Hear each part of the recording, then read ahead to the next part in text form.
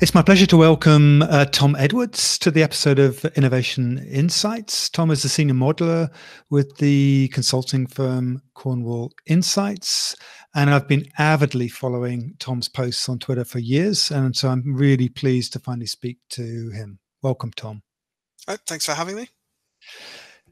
I'd like to start um, by asking you about what has surprised you the most about the impact of on the electrical grid from the COVID demand suppression. I, I think it was the how quick it's felt like 20 for 25 got here because I've been talking and thinking about grid stability for a number of years now, and it was always this arbitrary thing that was going to happen in the future, and we had to get ready for it.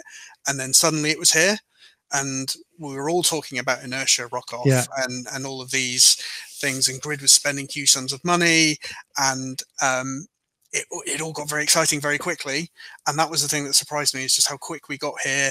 I guess it feels like we're really close to being 100% renewable something like that. It's it's it's it's super exciting.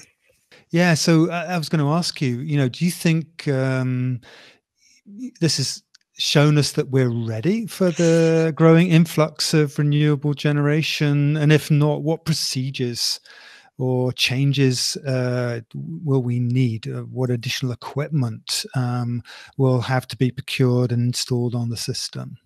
I think it's shown us we're not ready. I think that's clear.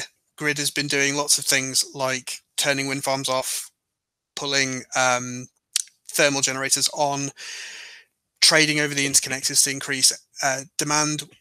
I think that we will need to do lots of things to get ready. So for the, to hit that 2025 target of being able to balance a 100% renewable system, we're going to need things like new procedures. Um, Grid is investigating things like power available, which is a real-time uh, data feed on wind speeds from wind farms, so that they can uh, work out how much reserve might be available on on a wind turbine or uh, it's doing trials with batteries to look at how state of charge on the battery affects what kind of reserve that they can buy from that battery unit. Uh, so there's those kind of procedural how do they change what they're already doing but there's also things like what kind of new services can you buy so grids creating something called dynamic containment moderation and regulation which are less than right. one second response services so at the moment uh, firm frequency response dynamic firm frequency response, which is the kind of the racehorse Ferrari response they currently have, is about 10 seconds uh, max response. This is going to be much, much quicker than that. Uh, do you think that it's realistic for you know uh, consumers and even generators to expect the same level of service or the same uninterruptible access to and from the grid given the widening gap between the trough and the peak that you showed in your presentation? I think there's going to be much more incentives for consumers to respond to what's happening on the system. So the idea that um, supply will always follow demand might no longer be suitable. It might be that demand follows supply.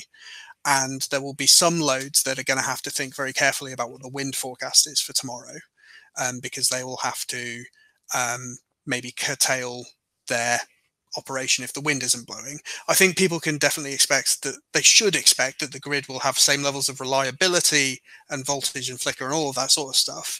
But it, I think that the price signal should show that perhaps you shouldn't consume here, perhaps you should consume over here, or you should install storage. Um, those kind of things. I think that a 100% renewable system is going to rely as much on demand as it does on generation. Do you think the operators, even the politicians, will allow the price signals to rise sufficiently to kind of drive that widespread use of I don't know software solutions or hardware uh, storage solutions to balance the system. I mean, you talked about uh, amazing increase in in um, cost of balancing, which will have to be spread. Uh, you know, is that going to continue to grow to attract that technology? Uh, I think that there has to be um, serious consideration thought about what the market design that can bring all this together is because as i said it's an essential service yeah. it's very politically sensitive and of course the revenues here we're talking about spiky revenues and those might not necessarily be attractive to investors there might be a, another market design out there that helps smooth those out and perhaps that also helps smooth things out for investors, but it also smooths things out for consumers and gives them more confidence, say, in planning ahead for the long term. So I think that um, the current market design, in my opinion, is not suitable for a net zero world. I think it will have to change, and a serious consideration in the new market design will have to be given to revenue certainty for these new bits of kit that we need, but also revenue certainty or cost certainty for consumers as well. Hey, really thanks again, Tom, for presenting at the European Venture Fair. The energy transition is going to have a meaningful impact on the grid. And for those of us interested to see how this evolved, I really highly recommend that uh, they follow you and the work that you and your colleagues uh, are doing at uh, Cornwall Insights. Thanks again, Tom. Great. Thanks very much.